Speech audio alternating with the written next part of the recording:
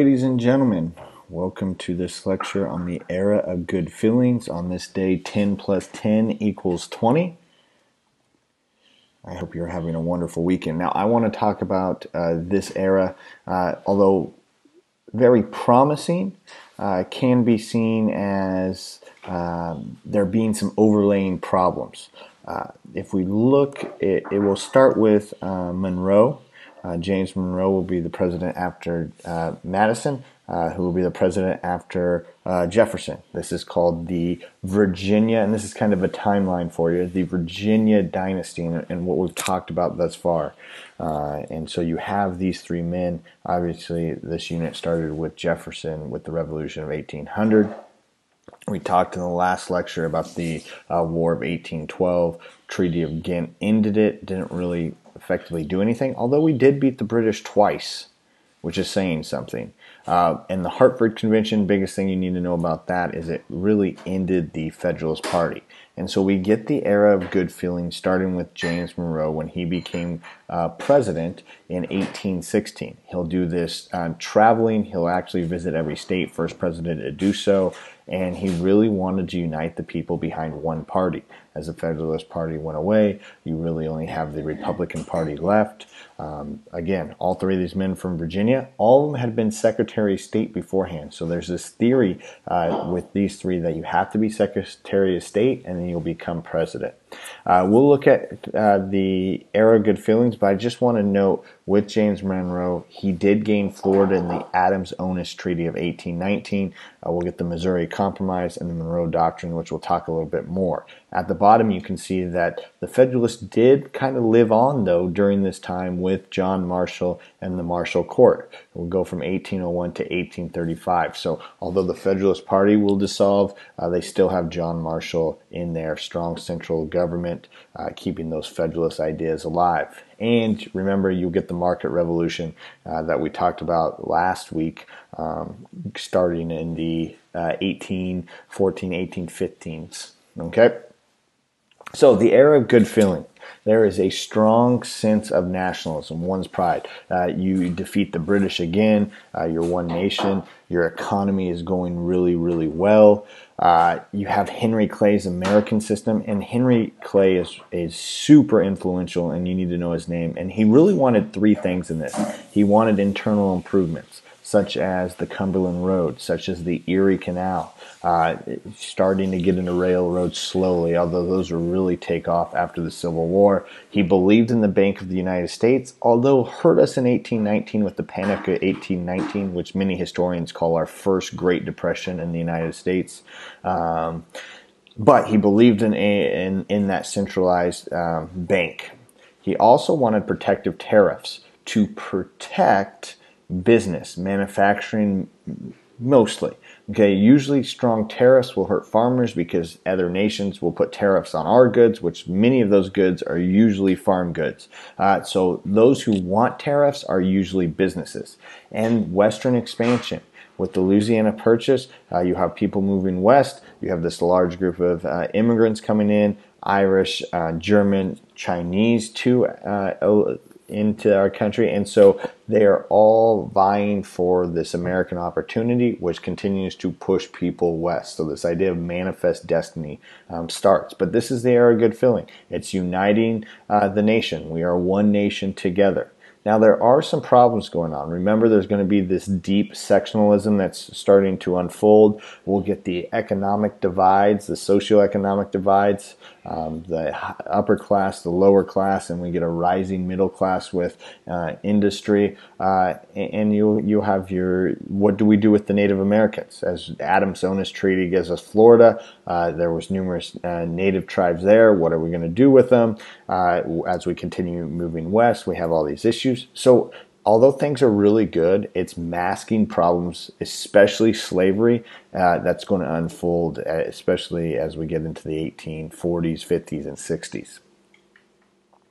Now, one of the big things you need to understand is the Missouri Compromise that comes out of this. And let me move my head. Okay, the Missouri, and you can look at this map. The Missouri Compromise, uh, at this time in 1819, we had uh, nine new states uh, come in, and it was perfect. There was 11 free states, 11 slave states. However, Missouri wants to be admitted as a slave state, and there's this issue. Tallmadge, a congressman, uh, proposes this Tallmadge Amendment, basically saying uh, we will let it be a slave state, but no new slaves will be allowed in, and slaves who turn 25 will be emancipated. This leaves the South in an uproar. Okay, no, this isn't going to happen. Remember, if it's a tie, 11-11, it doesn't really matter with the um, the House of Representatives because the South kind of dominates that. Although the North with immigration is is coming closer to that, but really they need to keep that tie in the Senate, 11-11. As long as they can do that, they can always veto things that would hurt their livelihood, especially when we got the cotton gin, King Cotton. It, it, they're an agrarian society that makes a lot of money, not only in cotton, but tobacco as well.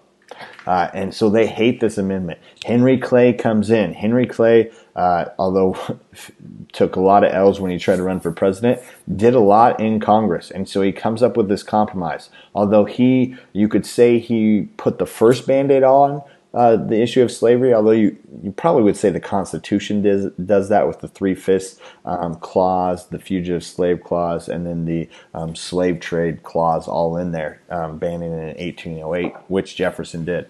Okay, so we get the Clay's compromise. He says, Missouri, you'll come in as a slave state. Maine, which also wanted to be admitted, will come in as a free state. Remember, Maine was had been a part of Massachusetts, um, and so now it will be a free state. That will keep it 12-12 slaves and free. So we'll have to keep that. But our problem is we have all this new land, the Louisiana Purchase.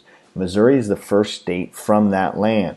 So what are we going to do? And so we create this line uh, to prohibit slavery above the 3630 line. And I hope you can see my arrow. It's north of the uh, Arkansas or Arkansas territory.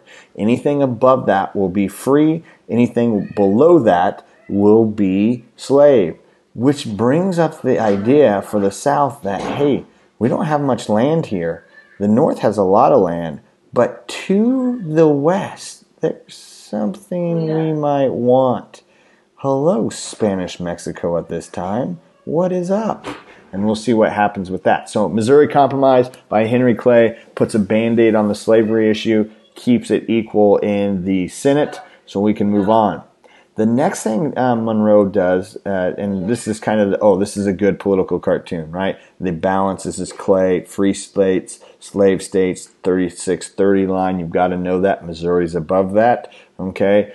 Yeah, this is pretty shaky, okay? So understand this is a good one. Good political cartoon for that.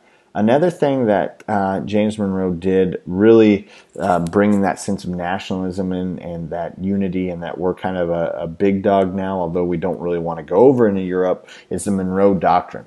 Important, but really not used until later. And presidents will use this as long as you, I mean, we're still using this verbiage. No further European colonization in the Western Hemisphere or interference in affairs, meaning European countries needed to stay out of issues in uh, the Americas. Um, many of the uh, colonies of Spain and Portugal at this time were gaining their independence. We wanted to protect them. Britain wanted us, wanted us to go into a deal with them, basically doing a um, combined statement, but we said no, we want to be independent of Britain here. We'll do it ourselves. However, we did say if you had a colony at this time, we're not going to mess with you. If you already had a colony, great, but no new colonies or no new interference with these new nations. This is going to allow us, and still in, some ways, shapes, and forms, allow us to exert our influence uh, without being disturbed by other nations. Uh, so, this is key. So, era, good feelings, strong nationalism, one party, things are going good with the market revolution. We move west. Voting from 90% of white males is happening. So, there's a huge white male suffrage going on. And so, the times are good. But there's some underlying problems that are going to start rising up. And then also, we're going to get a guy named Andrew Jackson who's going to throw a big wrench into our system. Until next time, have a great weekend.